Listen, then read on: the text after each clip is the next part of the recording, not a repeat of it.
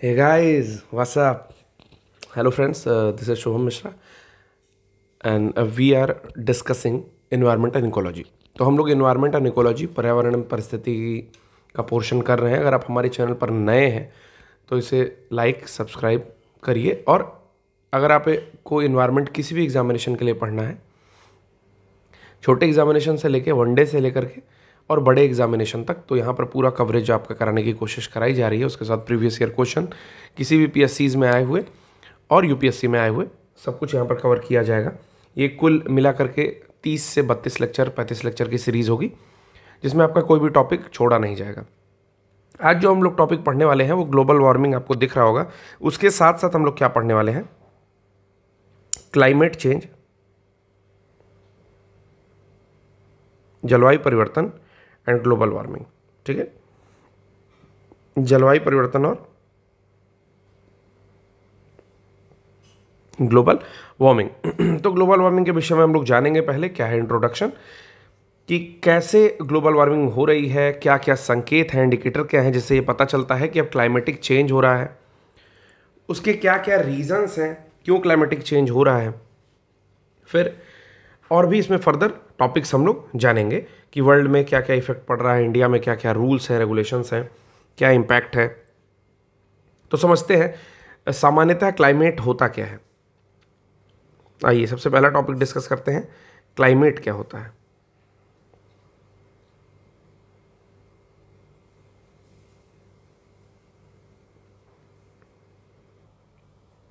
एक blank page लेके start करते हैं क्लाइमेट के बारे में जानना।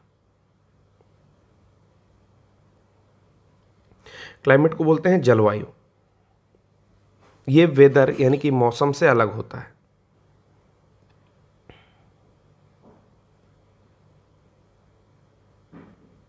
ठीक। वेदर जो होता है, ये लोकलाइट है। लोकल का बारे में बताता है। यानी कि अगर आप जिस सिटी में है, वहाँ पर आजकल मौसम कैसा रह रहा है, ये बताएगा आपका वेदर। और आप जिस स्थान पर रह रहे हैं, उस स्थान पर अमूमन ठीक है? वर्षों वर्षों तक मौसम की क्या प्रक्रिया है वो बताएगा आपका क्लाइमेट जैसे किसी भी स्पेसिफिक एरिया में एक लंबे काल के दौरान, यानी कि फॉर लॉन्ग ड्यूरेशन लगभग तीस साल, लगभग थर्टी ईयर्स को उसको मानते हैं। ठीक है? मौसमी दशाएँ कैसी है, औसत वर्षा कैसी है, ये सब कुछ मिला दिया जाए तो उस स्थान का कहला, कहलाएगा क्लाइमेट या फिर जलवायु। जलवायु के अंतर्गत क्या आएगा? टेम्परेचर ये पॉइंट्स देखिएगा। टेम्परेचर यानी कि तापमान, आर्द्रता, यानी कि ह्यूमिडिटी ठीक है? फिर आएगा आपका एटमॉस्फेरिक प्रेशर 80 पीआर मैं लिख रहा हूँ। एटमॉस्फेयर यानी कि वायुमंडलीय दाब वायुमंडलीय दाब ओके इसके साथ साथ विंड कैसी है? पवन, वर्षा रेनफॉल और मेट्रो लॉजिकल एलिमेंट्स यानी कि मौसमी तत्व। अगर इन सभी को मिला दिया जाए temperature humidity atmospheric pressure wind rainfall meteorological element यानी कि तापमान, आर्द्रता वायुदाब पवन, वर्षण, तथा मौसमी तत्वों को मिला दिया जाए तो उस एक स्थान का क्लाइमेट कहलाता है, ठीक है? जलवायु कहलाता है। अब आता है क्लाइमेट चेंज दूसरा टॉपिक है यहाँ पर क्लाइमेट चेंज हम लोग उसके विषय में देखते हैं। इन टॉपिक्स को मैं यहाँ पर डिलीट कर रहा हूँ। नए टॉपिक को लिख रहा हूँ। आ जाइए। दूसरा टॉपिक है हम लोग का क्लाइमेट चेंज जलवायु परिवर्तन। जलवायु परिवर्तन क्या होता है? कि अब किसी लंबे समय तक, मैंने कहा कि तीस साल का लगभग समय लेते हैं क्लाइमेट वर्ड जहाँ यूज़ किया जाता है, लगभग तीस साल का। तो किसी लंबे समय में किसी स्थान विशेष या वैश्विक स्तर पर, दोनों जगह को लेंगे, अगर जलवायु दशाओं में परिवर्तन हो गया, यानी कि वहाँ का रेनफॉल प्रभावित हो गया, वहाँ की विंड स्पीड प्रभावित हो गई, वहाँ पर जो आर्द्रता है, वो प्रभावित हो रही है, या अन्य जो मेट्रोलॉजिकल एलिमेंट्स हैं, वो किसी तरह से प्रभावित हो रहे हैं, जिससे जहाँ पर आपका गर्मी पड़ता था, वहाँ पर आपकी बारिश होने लगी, जहाँ पर बारिश होती थी, वहाँ पर आपका जाड़े जैसी स्थिति है। तो ये अगर एक लंबे समय तक चलता है, यानी कि तीस साल का स्पैन बिल्कुल इस चेंज में चलता है तो कहेंगे कि क्लाइमेटिक चेंज हो रहा है, ठीक है? अब मौसम और जलवायु में अंतर समझते हैं। हम लोग मौसम और जलवायु में अंतर समझते हैं, जो मैंने यहाँ पर वेदर और वो लिखा था। देखिए, यहाँ पर एक डिफरेंस देखेंगे। एक क्लाइमेट लिख लीजिए और एक और लिख लीजिए आप वेदर ओके देखेंगे, मौसम क्या करता है? जल्दी बदलता है। सुबह ऐसा है, शाम में ऐसा हो गया। इसे देर तक, तीस साल, दो साल, पाँच साल, दस साल, देर तक, यानी कि तीस साल के आसपास बदलता है। फिर उसके बाद देखेंगे मौसम एक क्षणिक अवस्था है। और ये क्या है? दीर्घकालिक। ठीक? यानी कि एक तरह से आप देखेंगे कि जलवायु के अंदर में आपका वेदर आएगा। क्लाइमेट के अंदर में वेदर आएगा। तो ये दोनों में थोड़ा सा छोटा डिफरेंस है जो कभी कभार हम लोग बोलने में गलती करते हैं। तो हम लोग ये भी पढ़ लिए। अब हम लोग तीसरे टॉपिक पर आते हैं। तीसरा टॉपिक क्या है? कि जलवायु को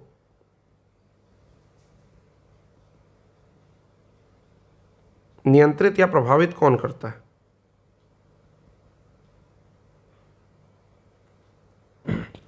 तो जो प्रभावित करता है, उसको याद करने का एक तरीका है। लैंडफॉर्म्स लैंडफॉर्म्स वर्ड से आप जलवायु को प्रभावित करने वाले फैक्टर्स को समझ सकते हैं। एक चीज़ और बता देना चाहता हूँ कि यूपीएससी हिंदी की ये फ्री इनिशिएटिव है इन्वायरमेंट एंड इकोलॉजी का पोर्शन इसके पहले मैंने, शुभम मिश्रा ने जनरल साइंस का पोर्शन लिया है। आप जा करके प्लेलिस्ट में उसे सर्च कर सकते हैं। उसके अलावा आपको किसी भी तरह की टेस्ट सीरीज़ या अन्य चीज़ें ज्वाइन करनी हो तो आप जाकर डिस्क्रिप्शन बॉक्स में देख लीजिए। उसमें रिलेटेड नंबर्स और क्वेरीज़ के लिए समाधान करने वाले कुछ ईमेल आईडीज़ गिवन है। आप उस पर फ़ोन कॉल करके पूछ लीजिए, और आपकी जितनी भी चिंताएँ हैं, जो भी समस्याएँ हैं, वो आपकी सॉल्व कर दी जाएँगी। उसके साथ साथ एक बात और, अगर आपको ये लेक्चर सीरीज़ अच्छी लगती है या फिर ख़राब लगती है, या फिर एवरेज लगती है वी वेलकम योर कमेंट्स ठीक है? तो आप अपने कमेंट्स को ज़रूर यहाँ पर पिन करिए, ज़रूर यहाँ पर ड्रॉप करिए, ठीक है? जिससे हम लोग अपने अंदर इंप्रूवमेंट कर पाएँ, आपके अकॉर्डिंग हम लोग कोर्सेज प्रिपेयर कर पाएँ।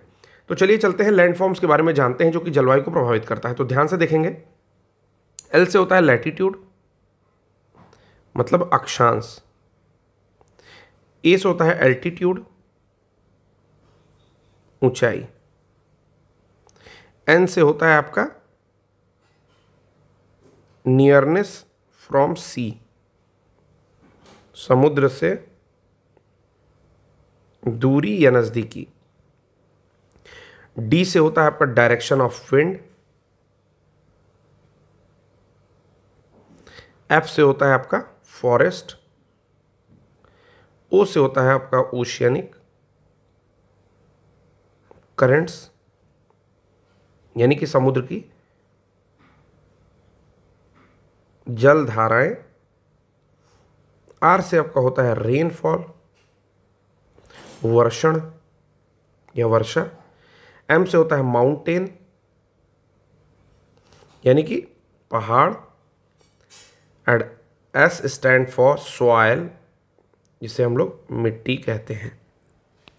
तो यहाँ पर जलवायु को प्रभावित करने के कारक लिखे हुए हैं, जिनका फुल फॉर्म है लैंड फॉर्म्स इतने कारक हैं जो जलवायु को प्रभावित करते हैं। एक बार फिर से रिपीट करता हूँ। एल से होता है लैटिट्यूड या अक्षांश ए से होता है अल्टीट्यूड या ऊंचाई एन से होता है नियरनेस फ्रॉम सी यानी कि समुद्र से नज़दीकी डी से होता है डायरेक्शन ऑफ़ विंड हवा की दिशा या किस ओर है एफ़ से होता है फॉरेस्ट या वन ओ से होता है ओशियनिक करंट्स, यानी कि समुद्र की धाराएँ या जल धाराएँ। आर से होता है रेनफॉल, यानी कि वर्षण की मात्रा क्या है? एम से होता है माउंटेन, जो कि पहाड़ को रखता है stand for. And S stand for soil, यानी कि एस आपका रिप्रेजेंट करता है सॉयल को, यानी कि मिट्टी को। तो इतने फैक्टर्स हैं जो कि जलवायु को प्रभावित करते हैं। आशा करता हूँ कि आपने इसे नोट कर लिया होगा। हम लोग यहाँ से आगे बढ़ते हैं अगले टॉपिक्स की ओर। तो अगला टॉपिक क्या है? कह रहा है कि पृथ्वी की इसी में थोड़ी चीज़ें और समझते हैं कि पृथ्वी जब से स्टार्ट हुई, यानी कि जब से उत्पत्ति हुई, तब से आज तक जो जलवायु दशाएँ हैं, वो लगातार परिवर्तित होती रहती हैं। लेकिन पिछले साढ़े छः लाख सालों में जो हिमनद की वृद्धि हुई है, हिमनद मतलब क्या होता है? जो आइस के, यानी कि ग्लेशियर्स मेल्ट होने से जो नदियाँ बहती हैं, उनको कहते हैं हिमनद। उनमें जो वृद्धि हुई है यानी कि ग्लेशियर में एडवांस एंड रिट्रीट जो होता है वो सात चक्र टो, टोटल घटित हुआ है ठीक है? कितने चक्र घटित हुए हैं? सात चक्र। और जिसमें लास्ट आइस एज से लास्ट लास्ट आइस एज लगभग सात हज़ार वर्ष पूर्व समाप्त हुआ है।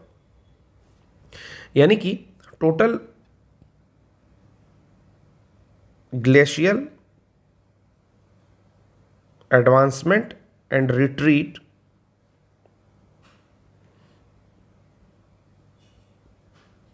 हिमनदों के वृद्धि एवं संकुचन में सात चक्र घटित हुए हैं।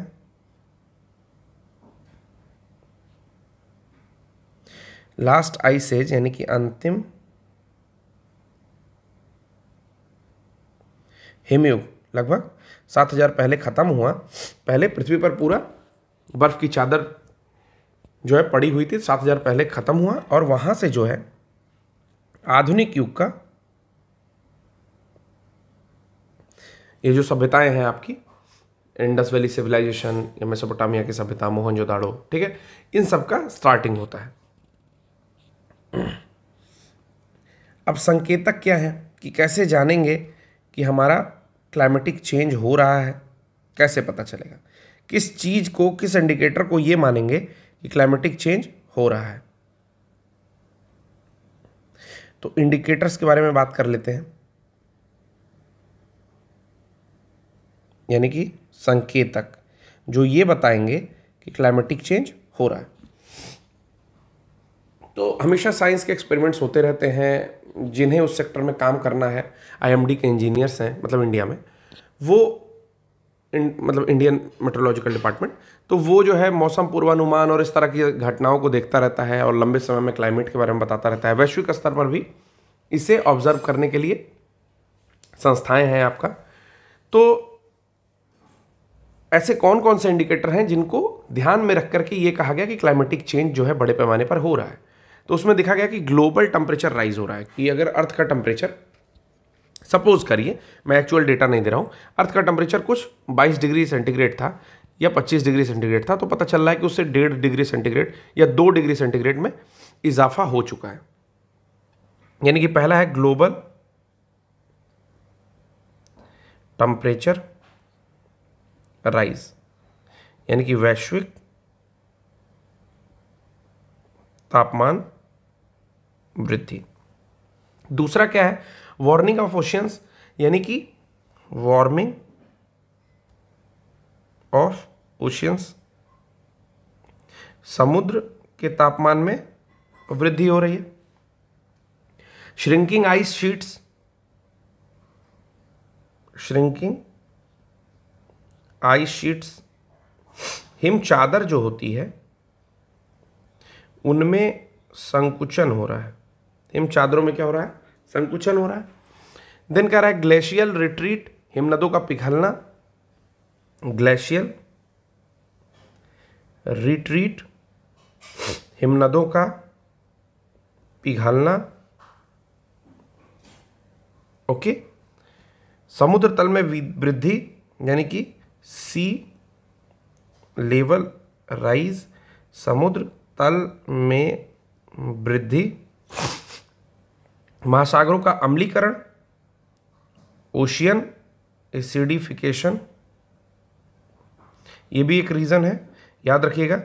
Oceanic acidification is also a indicator and indicator for the climate change यानी कि महासागरों का अम्लीकरण, चरम घटना है, जैसे सूखा पड़ता है, बाढ़ आता है, सुनामी आता है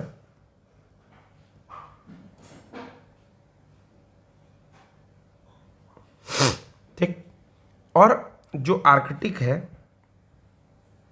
वहाँ पर जो है आइस डिक्लाइन हो रही है, यानी कि declining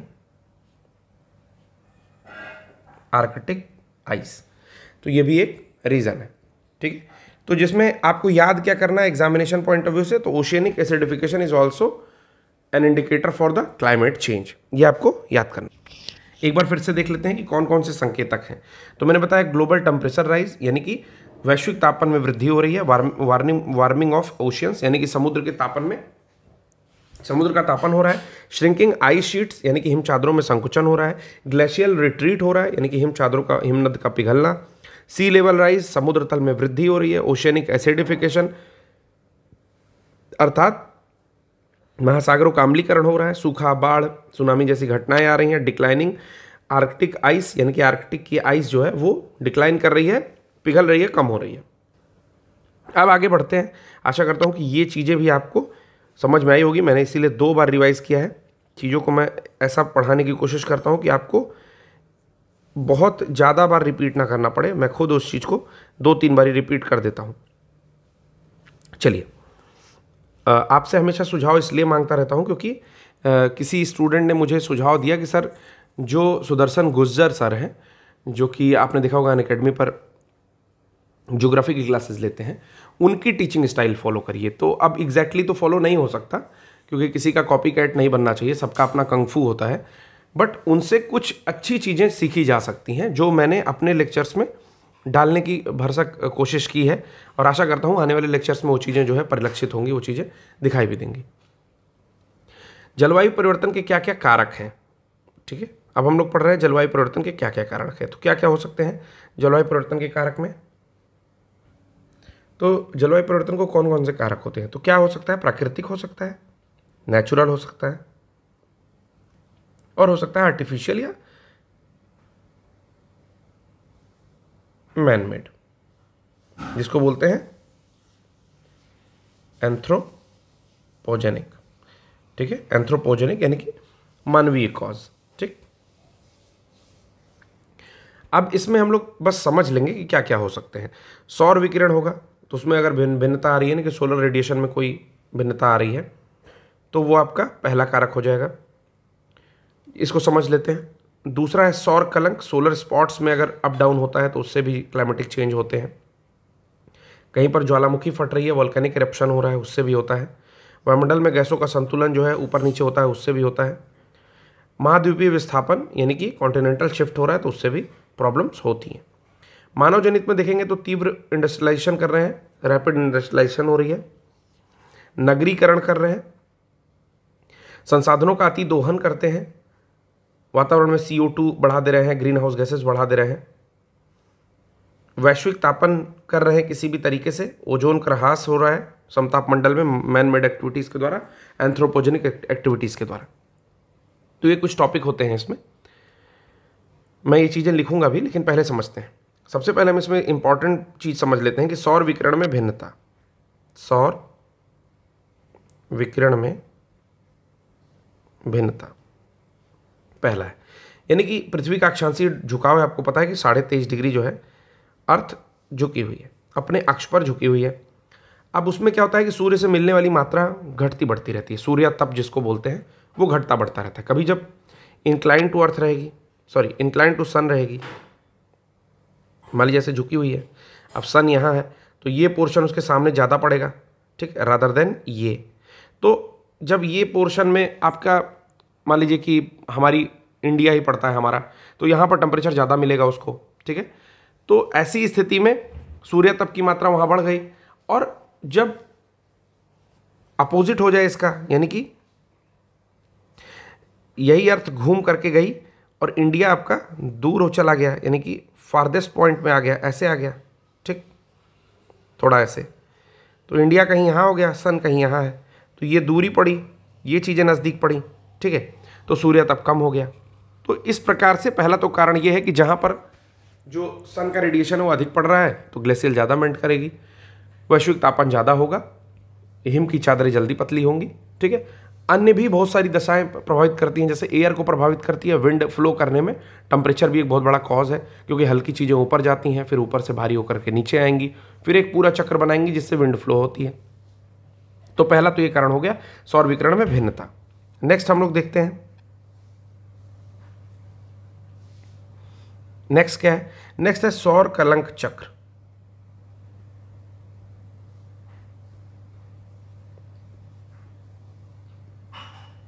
Solar spot cycle solar spot cycle मैंने बताया था कि सन पर बहुत सारे धब्बे पाए जाते हैं। धब्बे मतलब जहाँ फ्यूल नहीं है, ऐसे समझिए, जहाँ फ्यूल नहीं है hydrogen hydrogen two H four बनाता है हीलियम के अणु, परमाणु बनाते हैं।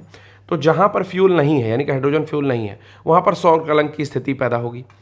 तो सौर कलंक का चक्र होता है, कभी बढ़ता है, कभी घट जाता है, कि मतलब कुछ महीने बढ़ेगा, फिर घट जाएगा, कुछ वर्ष बढ़ेगा, फिर घट जाएगा।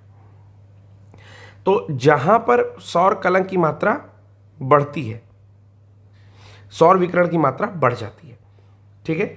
और पृथ्वी की सतह का तापमान भी उससे बढ़ जाता है। तो यानी कि सन स्पॉट्स भी कहीं ना कहीं टेम्परेचर को प्रभावित कर रहे हैं और टेम्परेचर हमारी ग्लेशियर को मेल्ट करने में अर्थ का टेम्परेचर इंक्रीज करने में ओशंस का टेम्परेचर इंक्रीज करने में एक अच्छा खासा जो है मैटर करता है। फिर नेक्स्ट इसी में देखते हैं हम लोग, ज्वालामुखी उद्भेदन वोल्केनिक इरप्शन तो आपको पता है कि ज्वालामुखी से भी आसपास में धुआँ गैसेस स्मॉग कोहरे ये सब निर्माण होते हैं। जिससे जो सन के जो रेडिएशंस है, यानी कि जो विकिरण है, वो पृथ्वी तक आ नहीं पाएँगे। आपको पता है कि कोई भी ज्वालामुखी हुई जो फट गई, ठीक है? ज्वालामुखी के इरप्शन से उस पूरे 25-30 किलोमीटर 40 किलोमीटर के दायरे में कुछ ऐसी स्थिति बन जाएगी कि आपकी सन की रेडिएशन डायरेक्टली अर्थ तक नहीं आ पाएँगी। तो जब अर्थ तक नहीं आ पाएँगी तो क्या होगा? विकिरण की मात्रा अर्थ पर नहीं आएगी, यानी कि हीटिंग की प्रॉब्लम जो है वो नहीं होगी। जब हीट नहीं होगा तो अन्य चीज़ें प्रभावित हो जाएँगी उससे, यानी कि क्लाइमेटिक चेंज का रीज़न बनता है। फिर आता है वायुमंडलीय गैस संयोजन में वृद्धि, यानी कि C O two N two O C H four जलवाष्प, इत्यादि गैसेस जो हैं उसमें निरंतर परिवर्तन होता रहता है। तो इन परिवर्तन के कारण, जैसे औद्योगिक क्रांति हुई तो मानव जनित बहुत सारे परिवर्तन भी हुए। ठीक, उसके साथ साथ लास्ट क्या है? महाद्वीपीय विस्थापन।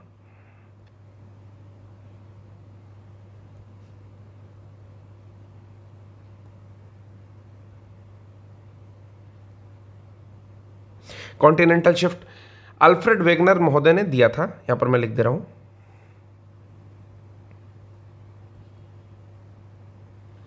अल्फ्रेड वेगनर ठीक है? वेगनर का सिद्धांत भी कहा जाता है तो अल्फ्रेड ठीक? अल्फ्रेड वेगनर महोदय ने वेगनर वेगनर अल्फ्रेड वेगनर महोदय ने ये कॉन्टिनेंटल डिफ्ट थ्योरी दी थी। और मॉर्गन एक व्यक्ति थे, उन्होंने प्लेट विवर्तनिक यानी कि प्लेट टेटोनिक थ्योरी दी थी। इन्होंने क्या दिया था? कॉन्टिनेंटल ड्रिफ्ट या कॉन्टिनेंटल शिफ्ट की थ्योरी दी थी। और एक मॉर्गन व्यक्ति थे, जिन्होंने दिया था आपका प्लेट टेक्टोनिक।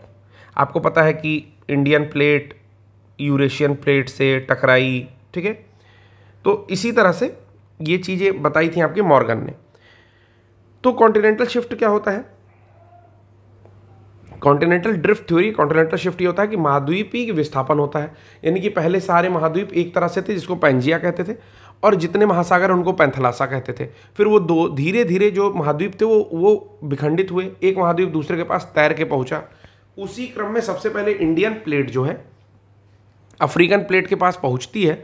मेडागास्कर और आसपास के पास तो वहाँ पर जो ज्वालामुखी थी, वो हमारे दक्षिणी इलाके में, यानी कि छोटा नागपुर प्लेट्यू डेक्कन प्लेट्यू ये सब जो एरिया है, यहाँ पर ज्वालामुखी निक्षेप जम गए, क्योंकि वो जब अफ्रीकन प्लेट के पास पहुँची तो ज्वालामुखी उद्गार से वहाँ पर, ज्वालामुखी परिघटनाओं से वो मिनरल्स जो वहाँ पर जम गए। उसके बाद इंडियन प्लेट तैरते हुए, अब मैं इसका फ़ोटो तो एग्जैक्टली नहीं बना सकता, लेकिन कुछ ऐसी इंडियन प्लेट जो है, ऐसे तिरछी तैरते हुए, जो हमारी पैरे से यूरेशियन प्लेट थी, इसमें जाकर टकराती है और एक नहीं, तीन बार ही टकराती है। यहाँ पर पामीर का नॉट बनता है, पामीर का पठार बनता है सॉरी पामीर की गांठ बनती है और वहाँ से ये हमारी हिमालय की तीन श्रेणियाँ निकलती हैं, ठीक है? और इधर आपका निकलता है हिंदकुश पर्वत, इधर कुनलुन शान, तियान शान, ठीक है? तो ये पूरी जो हिमालयी रेंज है, वो यहाँ पर डेवलप होती है। तो कहने का मतलब ये है कि ये टोटल जो थ्योरी है वो कॉन्टिनेंटल ड्रिफ्ट थ्योरी आती है। फिर प्लेट विवर्तनिक क्या आता है? आज भी जो प्लेटें हैं, यानी कि इंडियन प्लेट है या नीचे पड़ी हुई जैसे आपने पढ़ा होगा कभी ओशनिक ओशनिक डाइवर्जेंस कन्वर्जेंस ठीक है? अगर ओशनिक ओशनिक नहीं पढ़ा है तो माधुपी माधुपी कॉन्टिनेंटल कॉन्टिनेंटल शिफ्ट पढ़ा होगा, ठीक है? या कॉन्टिनेंटल ओशनिक पढ़ा होगा। तो होता क्या है, उसमें जो प्लेट कमज़ोर होती है, वो सबमर्ज कर जाती है। जैसे मान लीजिए दो प्लेट्स है यहाँ पर, ठीक है? ये कॉन्टिनेंटल प्लेट है, ये ओशियनिक प्लेट है। तो आपको पता है कि ओशियनिक प्लेट थोड़ी सी कमज़ोर होगी, ठीक है? क्योंकि वो ओशियंस के नीचे की प्लेट है, थोड़ी सी कमज़ोर होती है। कॉन्टिनेंटल प्लेट थोड़ी सी ज़्यादा रॉकी होगी, जो थोड़ी ज़्यादा मज़बूत होगी। तो इन दोनों में जब लड़ लड़ जाएँगी ये दोनों, अगर ये शिफ्ट करके एक दूसरे पर लड़ती हैं तो पता है क्या होगा? ओशियनिक जो प्लेट होगी, वो सबमर्ज कर जाएगी और कॉन्टिनेंटल प्लेट उसके ऊपर चढ़ जाएगी, ठीक है? तो इस पूरी घटना में जो छोटी सी घटना दिख रही है, अगर ये समुद्र के अंदर होती है तो आपकी सुनामी आ जाती है। अगर ये घटना समुद्र के अंदर होती है तो सुनामी आ जाती है। अगर ये घटना, हालाँकि इतनी नहीं होती, वो केवल हल्की सी शिफ्ट होती है। अगर ये घटना लैंड फॉर्म्स में होती है तो आपका सेवन और एट रिक्टर का एक अर्थक्वेक आ जाता है। ठीक है? तो ये घटनाएँ जो है, ये ये भी वायुमंडलीय जलवायु परिवर्तन के लिए एक बहुत बड़ा कारक है। फिर मानवीय कारकों में क्या आता है? मानवीय कारकों में बहुत सारी गैसेस हैं, ठीक है? जैसे सी ओ टू हो गई सी एच फोर हो गई एन टू ओ हो गई, ठीक है? फिर इनका क्या होगा? ये सारी गैसेस हीट को एब्जॉर्ब करेंगी रेनफॉल में परिवर्तन करेंगी, ठीक है? जो, उसका रिज़ल्ट क्या होगा? क्लाइमेटिक चेंज होगा। उससे क्या होगा? आपका जो एग्रीकल्चर है वो प्रभावित हो जाएगा, ठीक है? जो पशु पक्षी या जलीय पशु पक्षी रहते हैं उनका अनुकूलन एडेप्टेशन अनुकूलन प्रभावित हो जाएगा ठीक है? उससे क्या होगा? जलवायु प्रभावित होगा ठीक है? कृषि प्रभावित होगी फिर से। तो ये कुल मिलाकर के मैनमेड एक फैक्टर है। आ, मैंने आपको बेसिक चीज़ें बता दी। अब ग्रीन हाउस इफ़ेक्ट क्या होता है तो मैं आपको बता चुका हूँ। ग्रीन हाउस इफ़ेक्ट एक बार हम डिस्कस कर चुके हैं बट तेज़ी से हम उसको डिस्कस कर लेते हैं। ये पौधों के लिए निर्मित हरित गृहों, यानी कि ग्रीन हाउस में होने वाली परिघटना पर आधारित है। ठीक है? अब ग्रीन हाउस को एक दूसरे तरह से भी समझते हैं। ग्रीन हाउस को इस तरह से भी समझ सकते हैं कि आपने आर्टिफिशियल ग्रीन हाउसेस देखे होंगे, जिन्हें ग्रीन हाउस कहा जाता है। उसमें क्या होता है? छोटे छोटे ग्लास के हाउस बनाते हैं, जहाँ पर infrared waves radiation UV waves radiation वो सन की लाइट के साथ लो वेवलेंथ वाली रेडिएशन एंट्री ले लेती हैं उन ग्रीन हाउसेज में। रुकिए, मैं यहाँ फ़ोटो बनाता हूँ इसका। ठीक है? ठीक है? यूवी इंफ्रारेड ये सारी अवरक्त किरणें और पराबैग्निक किरणें, ये एक आर्टिफिशियल घर बनाया जाता है शीशे का, जिसमें ये एंट्री ले लेती हैं। ठीक है? एंट्री लेने के बाद क्या होता है? उसमें उपस्थित जो सी होती है, वो उसे निकलने नहीं देती, यानी कि वो उसे वहाँ से बाहर नहीं जाने देती। और सी जब उसे ऑब्जॉर्व कर लेती है तो उस ग्रीन हाउस का टेम्परेचर बढ़ जाता है और वहाँ पर कुछ ऐसी खेती भी की जा सकती है, जो कि उस क्लाइमेट में या उस वेदर में ना होती हो। समझ रहे हैं? जैसे मान लीजिए कि मटर की फ़सल हुई जो जाड़ों में होती थी, ठीक? या फिर कोई भी ऐसी फ़सल जो केवल जाड़े में होती थी लाइक गोभी जाड़े में होता है, ठीक है? और भी बहुत सारी सब्ज़ियाँ तो और कुछ ऐसी सब्ज़ियाँ हैं जो आपके गर्मी में होती हैं। तो आप क्या करोगे? जाड़ों में कुछ green house gases green house green houses का निर्माण कर दोगे। शीशे के वो हाउस रहेंगे जिसमें जब सन की रेडिएशन जाएगी तो उसको ट्रैप कर लेगा और टोटल टेम्परेचर इंक्रीज कर देगा। तो ऐसी स्थिति में गर्मी की फ़सलें भी जाड़े में उगाई जा सकती हैं। वो ग्रीन हाउस एक ऐसा माध्यम बन सकता है और बनता है। ठीक है? लेकिन ग्रीन हाउस टोटल क्या होता है? वो मैंने आपको बताया, इफ़ेक्ट क्या होता है? जब धरती के साथ ही ऐसा हो रहा है, यानी कि परावर्तित विकिरण, जब रिटर्निंग जो रेडिएशन है, या इंफ्रारेड के रूप में, जब वातावरण में गैसोस, गैसेस में जो धूल के कण होते हैं, उसमें जलवाष्प में रह जाते हैं और वो उन्हें अवशोषित करके पूरी पृथ्वी पर एक आवरण जैसा स्ट्रक्चर देता है। तो ये जो है ग्रीन हाउस कहलाता है पूरे अर्थ के लिए और इस परिघटना में जो अर्थ का टेम्परेचर है, उसमें लगभग पंद्रह डिग्री ऐसा मानते हैं कि सतह का पंद्रह डिग्री बनाए रखा जा सकता है। ठीक है? यानी कि मान लीजिए कि जाड़े में टेम्परेचर चार डिग्री सेंटीग्रेड हो गया धरती का।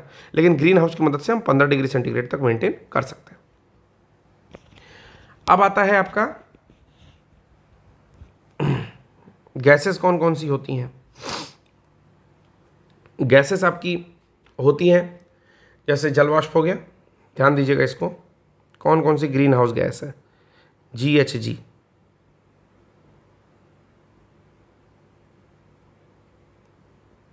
green house gas. Water vapour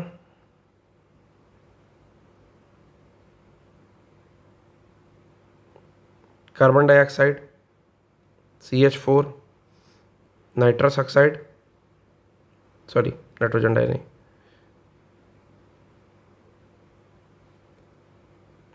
nitrous oxide और फ्लोरोनेटेड गैसेस। फ्लोरोनेटेड गैसेस जलवाष्प क्या करता है, ये आपको पता ही है, ठीक है? सी सबसे ज़्यादा ग्रीन हाउस गैस के लिए रिस्पॉन्सिबल है, फिर मेथेन रिस्पॉन्सिबल है। नाइट्रस ऑक्साइड आपको पता है कि यह ट्रेस गैस होती है। नाइट्रस ऑक्साइड जो होती है ट्रेस गैस होती है। पाँच परसेंट से दस परसेंट बढ़ रही है, ये ओजोन होल में डिप्लेशन के लिए भी ज़रूरी है। नाइट्रस ऑक्साइड को ही हम लोग हाथ से गैस यानी कि लाफिंग गैस कहते हैं, ठीक है? सी की तुलना में 250 गुना ये अधिक प्रॉब्लमेटिक है। तो इस तरह की कुछ चीज़ें होती हैं। कुछ देर से मैं कुछ चीज़ें बताया और मैं जो है म्यूट रखा हुआ था। मैं बता रहा था कि फ्लोरिनेटेड गैसेस जो होती हैं, उसमें आती है एच एफ़ सिक्स मुझे एक्जैक्टली क्लियर नहीं, मैंने कहाँ तक बताया था। बट मैं बता रहा था कि सी एफ़ सी जो क्लोरोफ्लोरोकार्बन्स है, उसमें वन टू यानी कि बारह, ग्यारह और बाईस, ये सारी कुछ इंट्रोड्यूस हुई लगभग सौ साल पहले, लगभग पचास साल पहले, ऐसा मोटी मोटा मान लीजिए। फिफ्टी के दशक के आसपास में, ऐसे तो आई ये सौ साल पहले मतलब लास्ट शताब्दी में ही ये आई हैं। और उन्नीस सौ बानवे कोपेनहेगन सम्मेलन में ये कहा गया कि सीएफसी जितनी भी हैं उनके प्रयोग को बंद करिए, क्योंकि मॉन्ट्रियल प्रोटोकॉल में ये कहा गया था कि आपका प्रॉब्लम हो रही है ओजोन को, ओजोन जो परत है उनमें छीणता आ रही है। तो फ्लोरिनेटेड गैस के बारे में मैंने डिस्कस किया है, मैंने कहा एचएफसी होती है, जो हाइड्रोजन और फ्लोरीन के संयोग से बनती है बहुत ही हानिकारक गैस है। उसके बाद आती है आपकी पी आती हैं, पर फ्लोरोकार्बन्स बोला जाता है इसको, जो कि आपके, जो आपका वो है, क्या बोलते हैं कि सेमी कंडक्टर्स हैं, उनके उत्पादन में ये निकलती है और दीर्घकाल तक जो है आपके वायुमंडल में बनी रहती है। लेकिन सबसे खतरनाक दो गैसेस के बारे में मैंने बताया।